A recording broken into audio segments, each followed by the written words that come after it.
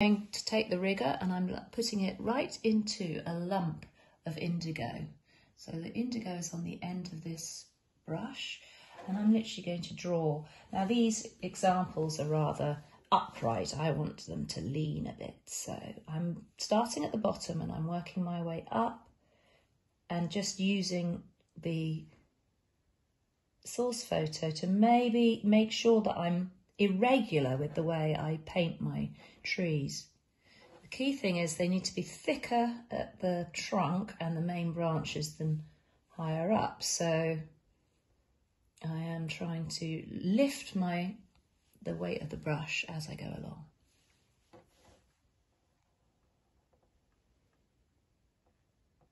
What happens when this tree is um, being painted is, of course, the water is still carrying the paint down the tree trunk and into the base. So actually, if you put quite a bit of water in and you tilt the page, it starts to plant the tree from you for you. So because the ground is wet, the um, running water from the tree trunk actually runs into the ground. And then you don't get any trees perched on top of the ground, which is a good thing.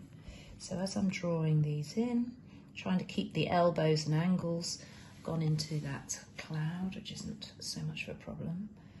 So the area at the top of the tree is going to be quite well illuminated. So I'm going to change colours in a second so that they're not so dark. So I'm actually using this specimen here, just trying to get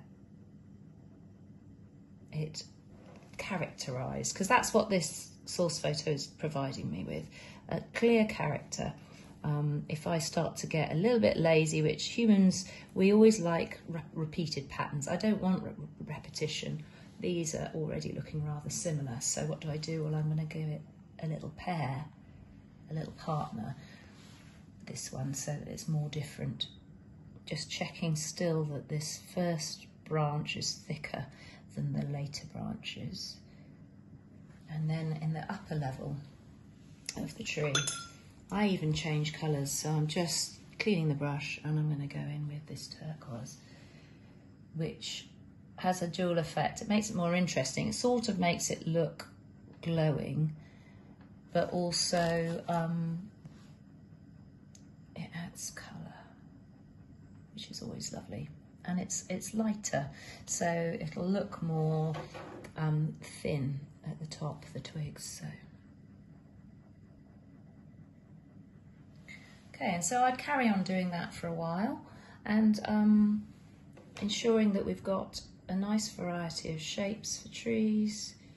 Maybe some of them have been broken off by lightning. Quite interesting maybe. and the, still the water is carrying the tree trunk into the ground and we can always oomph up the tree trunk with a little bit of ultramarine going in and that will still carry down the tree trunk into the base.